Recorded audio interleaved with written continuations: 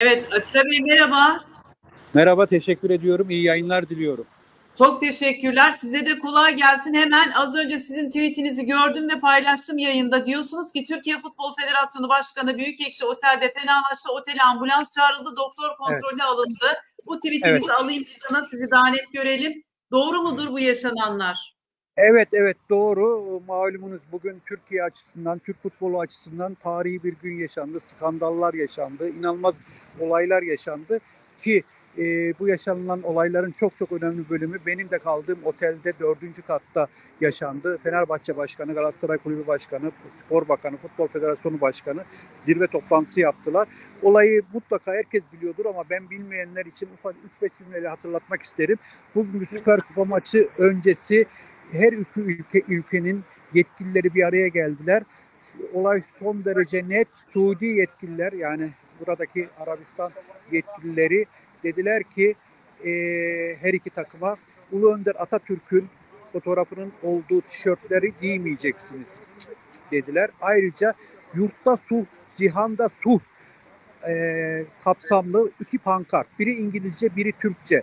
Fenerbahçe Kulübü tabii bunlar belli ki e, gerekli görüşmeler sonrası bu pankartlar hazırlanmış. Çünkü Fenerbahçe Kulübü İngilizce olarak yurtta sulh, cihanda sulh pankartını buraya Riyad'a e, getirdi. E, Galatasaray ise Türkçe olarak yurtta sulh, cihanda sulh. Dün gece saat 10.30 civarında bu bilgileri biraz önce öğrendim ben en yetkili kişilerden. E, dün gece 10.30 civarında e, buranın Suudi Arabistan'ın spor bakan yardımcısı geliyor ve inanılmaz ben söylerken titriyorum. Diyor ki ben kral adına konuşuyorum. Burada bizim kurallarımız geçerli. Biz krallıkla yönetiliyoruz. Türkiye'nin Cumhuriyet şovuna alet olmayız. Size bu şovu yap- yaptırmayız, izin vermeyiz diyor. Bizim burada maç yapılıyor. Bizim kurallarımız geçerli deniliyor ve bu doğrultuda tabii görüşmeler yapılıyor. Bu görüşmeler bugün de devam ediyor akşama kadar. O Suudi tarafının 150 kişilik yaklaşık olarak söylüyorum. Tabii ben bunu çeşitli kişilerle yaptığım görüşmeler çerçevesinde söylüyorum. Türkiye'den ise yaklaşık 20 kişi Futbol, Türkiye Futbol Federasyonu kapsamında e, açık açık şunu söylüyorlar. Ata, Ulu Önder Atatürk'ün e, fotoğrafının bulunduğu tişörtler giyilecek kararı alıyor bizim e, futbolcular için yani Fenerbahçe ve Galatasaray. Görevliler diyor ki o formayı ısınma için maçtan önce e, ısınma forması denir ona. E, eğer bu formaları giyilirse gördüğümüz anda sahaya girerek formaları futbolcuların üzerinden çıkarırız. En ufak bir karşılık verirlerse alır götürürüz deniliyor, tehdit ediliyor açık açık. Bu çok net bilgiler bunlar. Bu doğrultuda her geçen dakika olay geriliyor. Bizim kaldığımız şu anda da önündeyim zaten otelin. Dördüncü katında Ali Koç, e, Dursun Özbek, Spor Bakanı, Futbol Federasyonu Başkanı zirve toplantısı yapılıyor. Fakat Suudi yetkililer minnacık bile geri adım atmıyorlar. Bir de tabii sosyal medyayı da çok iyi takip ediyorlar. Her şeyden önce ısrarla şunu söylüyorlar. Bura krallıkla yönetilir.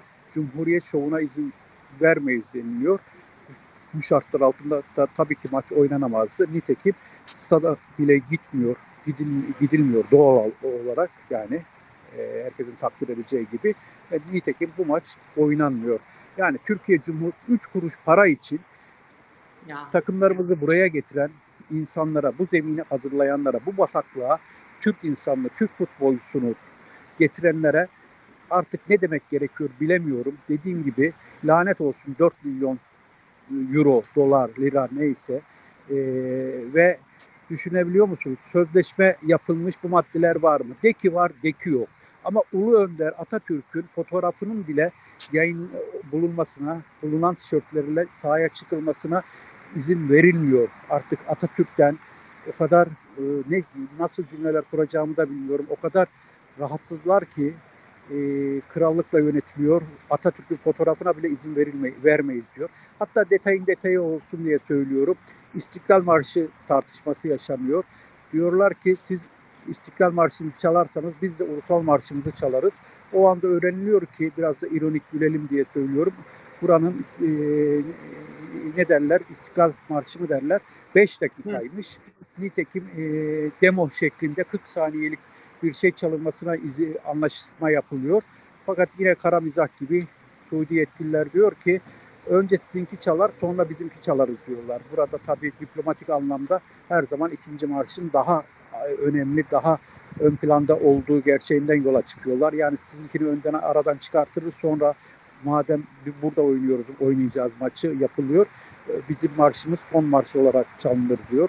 Yani e, bunun dışında stat'taki pankartlar, e, ışıklandı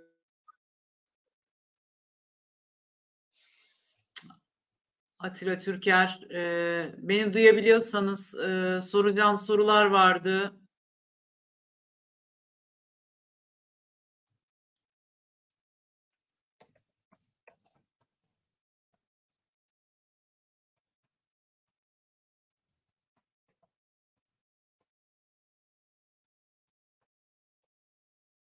İnterneti var. Ee, WhatsApp mesajlarım gidiyor. Evet, e, bakın öncesinde neler yaşanmış. Heh, Atilla Bey dinliyoruz. Artı, Buyurun. Art, artı biz de özel uçakla gelmiştik. Federasyon yetkilileri, gazeteciler, e, kulüp yöneticileri anlamında yaklaşık 250 kişi olarak. E, normalde yarın e, biz 2'de binip uçağa Riyad'da 2'de kalkıp 6'da İstanbul'da olacaktık. Biraz önce yaklaşık yarım saat önce bir mesaj geldi. Sabah 7'de lobide buluşup hemen havalanına gidip Suudi Arabistan'ı terk edeceğiz. Alınan karar o. 250 kişi birden. Yani bir an önce Suudi Arabistan'dan yola çıkacağız, havalanacağız anlamında.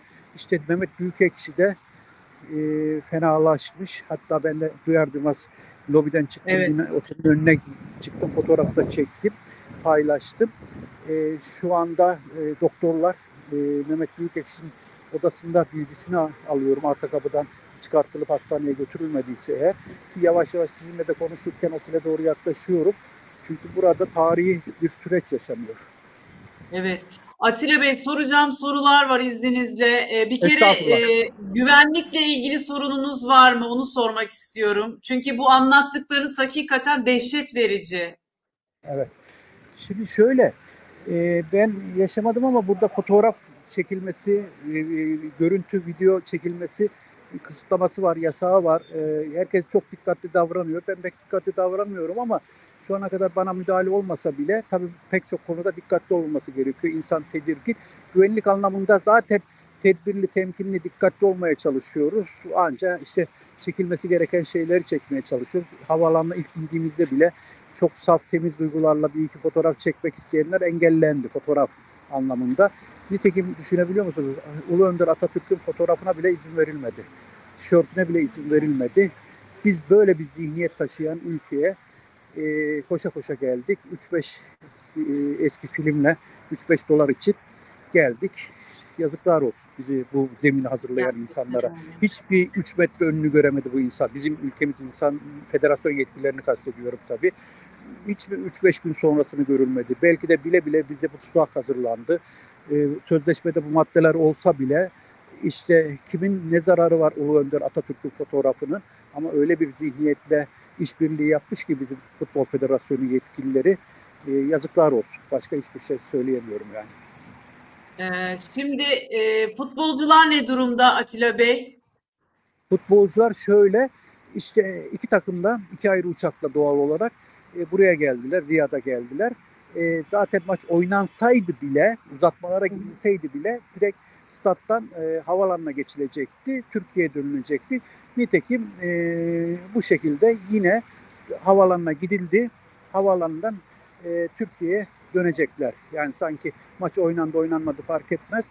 Dediğim gibi gece 24 uçağı yani yetişecekler. Zaten özel uçak olduğu için yarım saat bir saat gecikmeli de olsa e, Riyad'dan o özel uçaklar Galatasaray ve Fenerbahçe'yi taşıyan özel uçaklar e, İstanbul'a gelecekti. Dediğim gibi normal şartlar altında eğer herhangi bir engel, herhangi bir saygısızlık, terbiyesizlik olmadıysa eğer uçakların yavaş yavaş havalanmış olması gerekiyor her iki takımı taşıyan uçaklar.